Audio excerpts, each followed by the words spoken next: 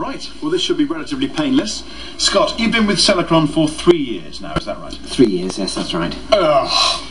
And during that time you've been responsible for marketing initiatives within your department? Broadly, yes, although my remit tended to overlap with distribution. Oh, for God's sake. Sorry, I should just point out, Derek is here to provide what we call extreme negative feedback, so that we can assess your ability to cope with stressful situations. Uh, is that all right with you? Oh, I, I see, yes, that's fine. Oh, it's fine, is it? Oh, well, as long as it's fine, that's all right then.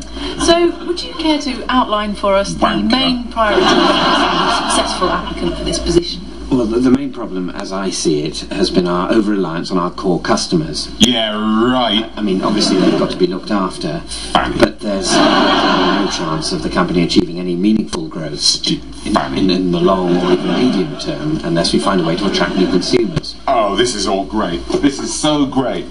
Let me get all this down. Whether, whether we do that by putting more resources Mm, into absolutely. existing Yeah. strategies or whether we try to overhaul our whole approach is, of course, a vexed question. Oh, Vex. Yeah, that's good. It's also Vex.